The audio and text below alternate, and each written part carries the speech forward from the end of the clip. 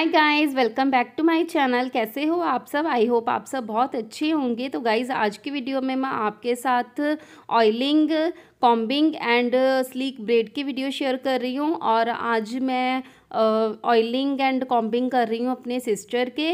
तो गाइज़ अगर आपको मेरी ये वाली वीडियो अच्छी लगे तो वीडियो को लाइक ज़रूर कर देना और चैनल को कर देना सब्सक्राइब तो गाइज़ ऑयलिंग करने के लिए मैं यहाँ पर होममेड ऑयल का यूज़ कर रही हूँ. इस ऑयल को मैंने घर पर ही बनाया है. नीम इसमें मैंने, इसके लिए मैंने नीम का यूज़ किया है. Aloe vera vitamin E capsule and coconut oil का यूज़ किया है. तो इसकी भी वीडियो ऑलरेडी मेरे चैनल पर अपलोडेड है। आप देख सकते हैं कि इस ऑयल को मैंने कैसे बनाया है। लिंक मैं आपको डिस्क्रिप्शन में प्रोवाइड कर दूँगी अगर आप देखना चाहते हैं कि ये वाला ऑयल मैंने कैसे बनाया है। बहुत ही अच्छा वाला ऑयल है। अगर आपको डेंड्रफ की प्रॉब्लम है, अगर आपको इचिंग की प्रॉब्लम है, अगर आपको हेयर फॉल की प्रॉब्लम है तो ये ऑयल यूज़ करने से आपकी ये सारी प्रॉब्लम्स ठीक होंगी। बस आपको रेगुलर ऑयल का यूज़ करना है। जो भी आप ऑयल यूज़ कर रहे हैं, उसका यूज़ आपको रेगुलर करना है। कम से कम हफ़्ते में एक बार ऑयलिंग ज़रूर करनी है। बिल्कुल भी लगाकर आपको ऐसा नहीं लगेगा कि आपके बालों में से स्मेल आ रही है या फिर चिपचिप कर रहा है। बिल्कुल भी नहीं। बहुत अच्छा वाला ऑयल है।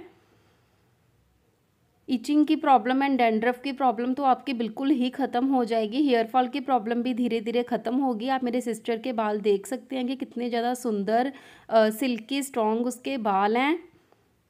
मेरी सिस्टर अपने बालों का काफ़ी ज़्यादा ध्यान रखती है, काफ़ी केयर करती है अपने बालों की। शैम्पू कंडीशनर स्पा मतलब प्रॉपर एक रूटीन है उसकी मतलब हेयर केयर रूटीन है पूरी। ऑयलिंग वो हफ़्ते में एक बार ज़रूर करती है, अपने बालों को बहुत ज़्यादा ड्राई नहीं रखती हैं, क्योंकि अगर हम बालों को ज़्यादा ड्राई रखेंगे तो हमें कोई ना कोई बालों से रिलेटेड प्रॉब्लम ज़रूर हो ही जाती है। सबसे पहले तो हेयर फॉल की प्रॉब्लम ही हमें होती है। ज़रूरी नहीं है कि आपको यही ऑयल यूज़ करना है, जो ऑयल आपको अच्छा लगता है, जो आप डेली बेस पर यूज़ करते हैं, आप उसी ऑयल को यूज़ कर सकते हैं। मतलब ऑयल ज़रूर आपको यूज़ करना है, आपको अपने बालों को ड्राई नहीं रखना है, ज़्यादा सूखे सूखे आपको अपने बालों को नहीं रखना है। अगर आप अपने बालों की अच्छी केयर करेंगे तो आपके बाल काफ़ी ज़्यादा लॉन्ग स्ट्रॉन्ग हेल्दी बन सकते हैं। इसके अलावा शैम्पू कंडीशनर आपको बार बार चेंज नहीं करने चाहिए।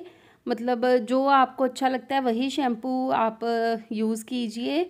बार बार शैम्पू चेंज मत कीजिए, कंडीशनर चेंज मत कीजिए, ऑयल को बार बार चेंज मत कीजिए।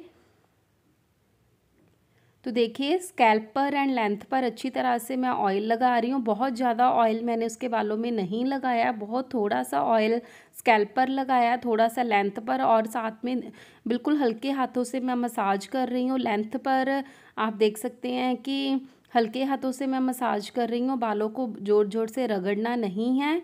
तो आप देख सकते हैं कि बहुत कम मैंने उसके बालों में ऑयल लगाया है मसाज की है। अब मैं उसके बालों में अच्छी तरह से कॉम्बिंग करूँगी। मेरे सिस्टर की बालों की लेंथ बहुत ही ज़्यादा लॉन्ग है मतलब काफ़ी लंबे बाल हैं। बट उसके बाल आप देख सकते हैं कि बिल्कुल सिल्की स्ट्रेट बाल हैं। हेयर फॉल की प्रॉब्लम भी बिल्कुल नहीं है। तो देखिए टैंगल्स उसके बालों में बिल्कुल भी नहीं थे। जो भी थोड़े बहुत टैंगल्स थे, वो मैंने अच्छी तरह से उसकी कॉम्बिंग कर दी है। बाल आप देख सकते हैं, कितने सिल्की, कितने सुंदर बाल हैं।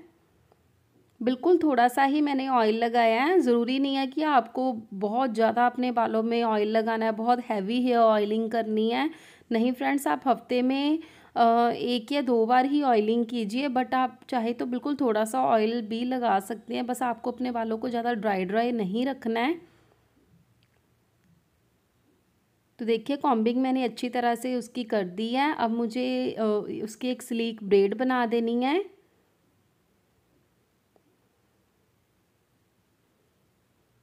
गाइज़ अगर आपको मेरी ये वाली वीडियो अच्छी लगी है तो प्लीज़ वीडियो को लाइक ज़रूर करना। आप वीडियो सारी देखते हैं बट लाइक नहीं करते हैं, बहुत कम लाइक आते हैं मुझे। प्लीज़ गाइस वीडियो बनाने में बहुत ज़्यादा मेहनत लगती है। आप सबकी रिक्वेस्ट पर ही मैं वीडियो बनाती हूँ तो प्लीज़ गाइस लाइक तो बनता है ना। लाइक तो आप कर ही सकते हैं। तो देखिए, मैं उसकी ब्रेड बना रही हूँ सिंगल स्लीक ब्रेड मैंने बनाई है। इतने सुंदर बाल है ना मतलब मैं उसकी ऑयलिंग कर रही हूँ, मुझे पूरा ऐसे फील हो रहा था कि बहुत ही प्यारे, बहुत ही सुंदर सिल्की बाल हैं।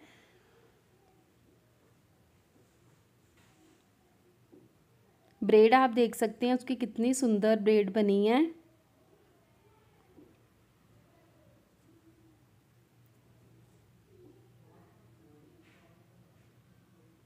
होप गाइज़ आपको मेरी ये वाली वीडियो अच्छी लगी होगी। ये वाली वीडियो आपको कैसी लगी, मुझे कमेंट बॉक्स में कमेंट करके ज़रूर बताना।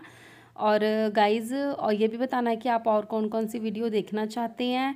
तो मतलब जशन की हेयर स्टाइल की वीडियो सभी रिक्वेस्ट कर रहे हैं बट प्लीज़ फ्रेंड सॉरी वो मैं नहीं बना सकती। जशन बिल्कुल भी नहीं मानता है, मैं खुद नहीं बनाना चाहती, क्योंकि नहीं अच्छा लगता है।